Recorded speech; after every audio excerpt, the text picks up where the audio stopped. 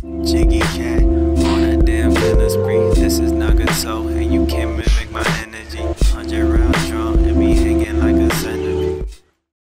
everyone, it's me Nagato's Revenge. Hope you guys are having an awesome day for today. And as the title states, I'm going to be teaching you guys on how to patch Trails in the Sky, the third evolution, into English. With that being out the way as well, I'm going to be just stating the prerequisites as I do in all my videos, and plus on some, you know, common things I think you should know for this process. So getting started with um the patch itself, we're going to be just talking what is included with this patch, and everything I state will be in the download description down below. So first things first, this patch will include fully voiced lines with over 20,000 voice um basically lines that are created with this patch. Um there is redone artwork with more character portraits and event images along with this patch.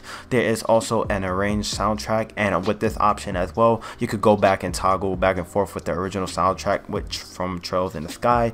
Um as well, there is a text backlog by pressing down on the D-pad. So if you want to go ahead and read back text from the characters itself, if you need to, you know, want to do that that for whatever reason you can. There's also some UI improvements with this patch. Plus by holding X you can also speed up battle animations and also cutscenes. So if you're trying to speed run through the game or you just don't want to you know see some filler content within this patch you could go ahead and just skip it. But with that being out the way for the things that this patch will include we're going to go ahead and get started for the prerequisites for the PlayStation Vita. And everything that I do state will as I stated before will be in the link in the description down below. So first things first you need a modded PlayStation Vita that is already hacked. So whether if you're using a Trinity, HENkaku, H-on Core, H-Encore 2, as long as your Vita can be exploited in some shape or form and you already have it modded, then you're good for this um, tutorial. As well as your, your system is on 3.60 to 3.73 firmware, you can still fully do this process. I'm going to be using my um, 3.60 um, HENkaku Enso Vita.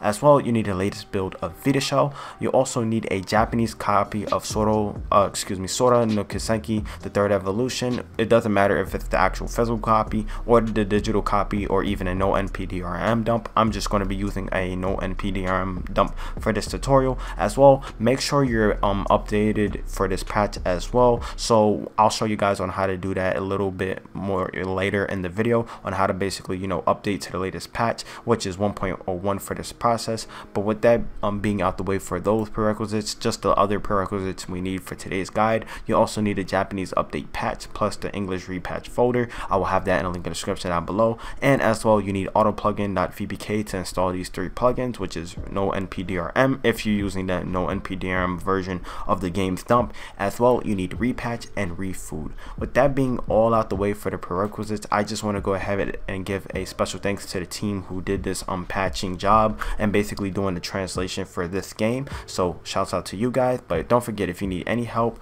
um, for this process or just just have any general questions on how to do this, don't forget to, you know, leave a comment down below or you could just join my Discord and I have that right on the screen. But with all that getting out the way, let's go ahead and get started on the PC side of things.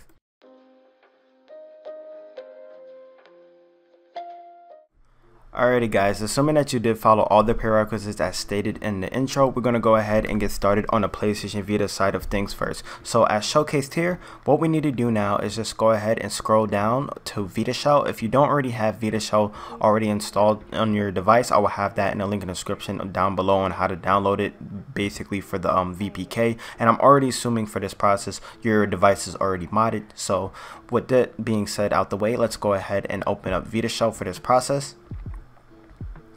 And now what we're going to do is go ahead and get ready to go ahead and transfer some files over to our Vita. So whether if you have a USB cable, go ahead and plug that into your PC. Or if you're going to go ahead and use the FTP connection method, go ahead and into start go into scroll down to where it's a select button. Depending on how you want to basically transfer your files go ahead and select the one of your choice. But for today I'm going to be using the USB method since it's way much faster on how to um, transfer files and I don't want to deal with um, you know FTP connection errors. So what I'm going to do now is just select over to USB and I'll meet you guys back onto the PC Alrighty, so assuming that you did follow all the prerequisites on the PlayStation Vita via within VitaShell, and you already see your um, content on your PlayStation Vita, and you see all of your um, folders within UX0, once you plug in your uh, cable from your PC to the Vita, what we're going to do is go ahead and get started on transferring files. So the first file we have here which is PSC SG00490. This is the actual game itself that is not patched. So this is the Japanese version. So what we're going to do now is go and transfer this over via within our app folder right here. So just take PSC SG00490, put it into the app folder right here. What we need to do next is take this auto plugin.vpk, drag it onto the root of this as well and then we have the actual patch files that we need to be messing with soon. So what we're going to do is right click on our um, PC something with like WinRAR we're going to extract our files. I'm already assuming that you already have WinRAR on your PC so just go ahead and hit OK well in this folder as well since I um, made basically half of the stuff just to make it easier for your guys you're going to see two folders which is going to have the repatch data and this is going to include all of the basically English translation plus the actual patch itself which is just the update for the game. So what we're going to do now is just wait for all of our content to be transferred over. So it's going to take nine minutes for basically um, that stuff to transfer over. And it's probably going to take some time for our patch to extract out to our desktop. So once our patch is fully onto our desktop i'll show you guys on where to basically um, transfer this folder over to in UX0 and then what we're going to do is once it's all done transfer back to the PlayStation Vita and then run auto plugin Alrighty, so basically the Trails in the Sky patch right here has extracted successfully on my PC. So what we need to do now, since the main game is still transferring over via within the app folder, we need to go ahead into Trails in the Sky, the actual patch. On your PlayStation Vita, just go ahead and drag over the patch via right here. So that's what it's doing right here. So if I go into the patch folder itself, you can see that the basically the update for trails in the sky is transferring over now. Same thing what we need to do to uh, repatch. You're just gonna go here drag it over to via the USB drive or aka my PlayStation Vita. And now if I go into my repatch folder as well what we're gonna do is you're gonna basically see the game data within the um, actual PlayStation uh, Vita archives is going to load. So that's what I'm waiting for it to do right here. So yeah, if you see in the repatch folder right now, basically all of my uh, game data is going to be transferred over and this is going to be the actual English patch. So what I'm going to do now is just wait for everything to transfer over. It may take maybe like 10 minutes or 6 or 7 minutes. Once it's fully done, I'll showcase all my files are transferred over and then we're going to go to the PlayStation Vita and then get everything set up within Auto Plugin. Alrighty, so after some time has passed, as showcased here, if I go into my app folder, you can see that I have the PC SG00490 game, aka Trails in the Sky. So let me just showcase it here. Here's the game in the app folder. Scroll down, you can see that autoplugin.vpk is here if I go into my patch folder right here, you can see that has transferred over successfully as well. And last but not least, the repatch folder also has the Trails in the Sky English patch within it. So once we have all of this stuff done, what we can do is just go ahead and minimize this out, go back into the PlayStation Vita, and let's get auto plugin installed Alrighty guys, so as showcased here, once you're in the VitaShell as I am right now, what we need to do is scroll all the way down to UX0, go into autoplugin.vpk, just go ahead and install the package because what we need to verify before we even get started on transferring our game or basically putting our game into the live area, we basically need the three plugins that I was talking earlier in the intro, which was no npdrm, reF00D, and also as repatch. So that's why we're using auto plugin.vpk since it's just very simple on how to um, you know transfer our plugins in. So just waiting for it to do its thing. And then once um auto plugin is fully installed i'll show you on how to you know get this plugin set up. So waiting for it to do its thing. All right so now it's fully done. I'm going to go ahead and hit back on the home button on my system. Hold down circle so we can close out that program I'm to go ahead right now, find my homebrew or try to find auto plugin. Let me see where I put it at on my system. So here is auto plugin right now. What we're to do is just go ahead and launch it just like any normal program. So there it go right here.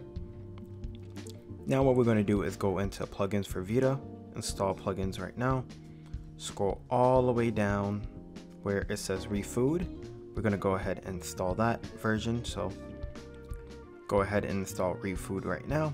Also going to install the latest version of repatch which is I am assuming version 3.0 so let's go ahead and install repatch as well.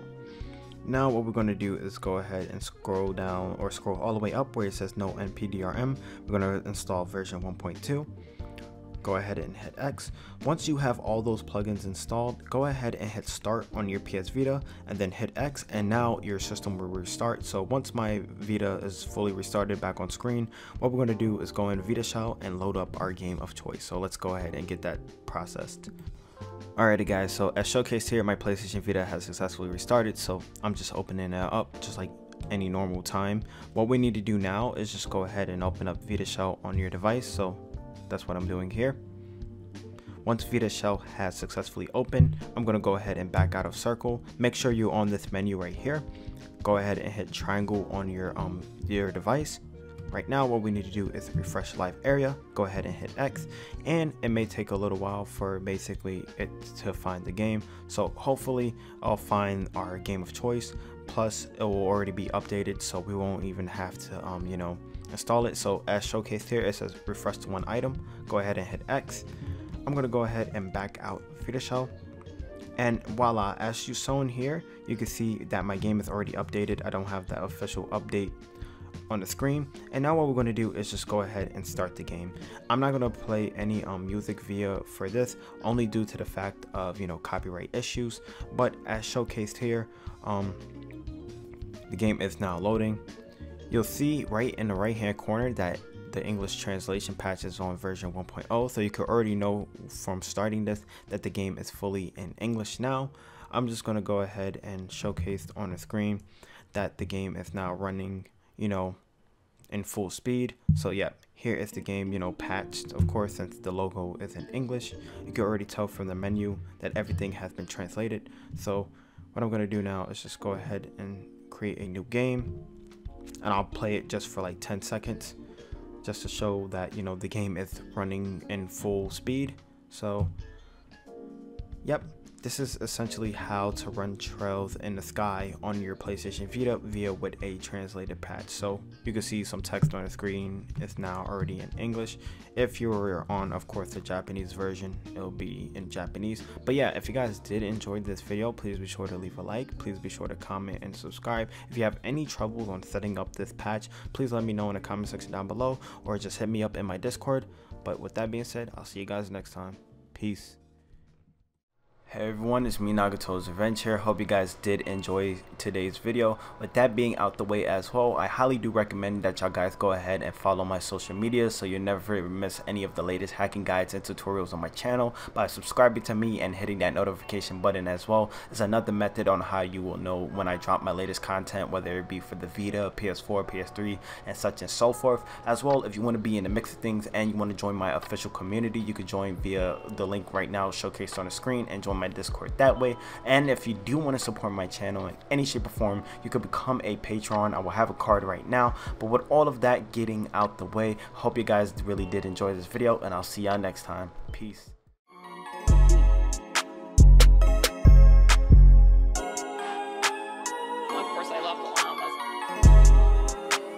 Nice and silky smooth.